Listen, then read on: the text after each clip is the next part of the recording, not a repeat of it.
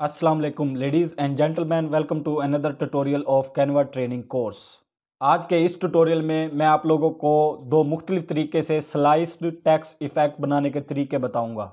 इसके अलावा ये भी बताऊँगा कि आप लोग कैनवा में मौजूद डिफरेंट स्टाइल्स के टैक्स करेक्टर्स को कैसे यूज़ कर सकते हैं और उनका स्लाइस टैक्स इफ़ेक्ट कैसे बना सकते हैं। और कैनवा पर फ्री में अपनी मतलूबा फ़ॉन्ट को कैसे यूज़ कर सकते हैं और उसका स्लाइस टेक्स्ट इफ़ेक्ट कैसे बनाते हैं? तो चलिए नाजरीन, शुरू करते हैं।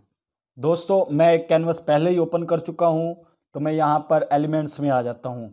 तो कैनवा में एक बहुत ही मज़े का फ़ीचर ये है कि आप जो कुछ लिखना चाहते हैं, उसको करेक्टर बाय करेक्टर यहाँ एलिमेंट्स में आके सर्च करें।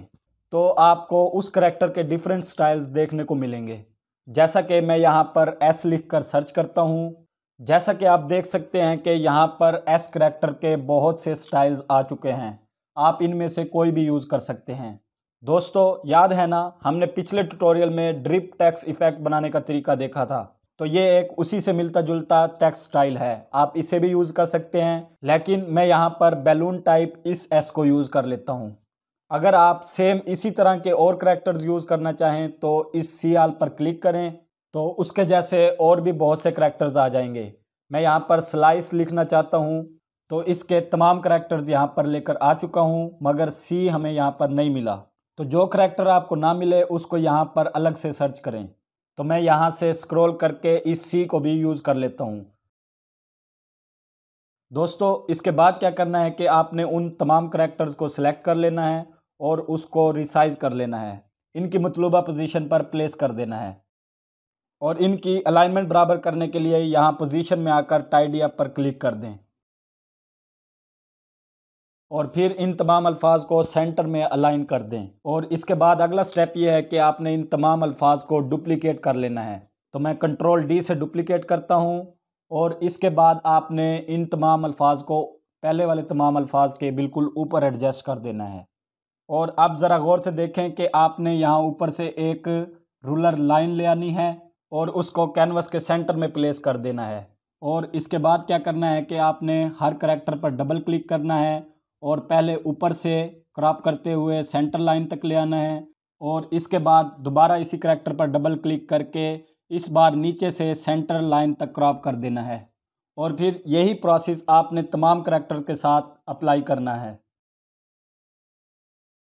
जिसके बाद आप देख पाएँगे कि आपके लिखे गए अल्फाज स्लाइस फॉर्म में आ जाएँगे। इसके बाद आपने नीचे वाले तमाम स्लाइस टेक्स्ट को सिलेक्ट करना है और थोड़ा आगे की तरफ़ मूव कर देना है एरो कीज़ के ज़रिए, जिस पर आपका टैक्स कुछ इस तरह से नज़र आएगा। इसके बाद लास्ट स्टेप क्या करना है कि आपने यहाँ पर शेडो लिख कर सर्च कर देना है, जिस पर बहुत से शेडोज़ आपको नज़र आएँगे। लेकिन मैं यहाँ पर इस फ्रेम को सिलेक्ट करता हूँ, ये छोटा आ गया तो मैं इसे थोड़ा बड़ा कर लेता हूँ। तो आपने पूरे टैक्स के बराबर इसको पहले बड़ा कर लेना है और फिर इसको क्रॉप करते हुए सिर्फ़ एक लाइन को बचा लेना है। और फिर इस लाइन को बिल्कुल सेंटर में एडजस्ट कर दें और इसकी पोजीशन को बैक कर दें। And that's it. Slice text का एक इफ़ेक्ट हमारा बिल्कुल तैयार है। इसके बाद आप इसको ग्रुप कर लें और आसानी से रिसाइज कर सकते हैं। मैं यहाँ पर थोड़ी सी रोटेशन अप्लाई कर देता हूँ। इसके अलावा आप इस तरह का भी स्लाइस टैक्स इफ़ेक्ट तैयार कर सकते हैं, लेकिन मैं आपको लिए चलता हूँ कस्टम फ़ॉन्ट में स्लाइस टैक्स इफ़ेक्ट की तरफ़। तो दोस्तों, आप अगर अपनी मतलूबा फ़ॉन्ट में कुछ लिखना चाहें और वो फ़ॉन्ट कैनवा में मौजूद ना हो तो इसके लिए आप पैसे देकर उस फ़ॉन्ट को यूज़ कर सकते हैं या पेड अकाउंट में यूज़ कर सकते हैं। मगर मैंने इसी कोर्स में एक वीडियो बनाई थी, जिसके तहत आप बिल्कुल फ्री में कोई भी फ़ॉन्ट कैनवा पर इस्तेमाल कर सकते हैं। तो उस वीडियो का लिंक आपको यहाँ पर डिस्क्रिप्शन और आई बटन में मिल जाएगा।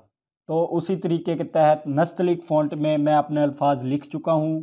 तो अब इसका स्लाइस टैक्स इफ़ेक्ट बनाते हैं। तो पहले तो मैं इसकी क्रॉपिंग करता हूँ और इसके बाद इसकी पोजीशन को मिडल सेंटर कर देता हूँ।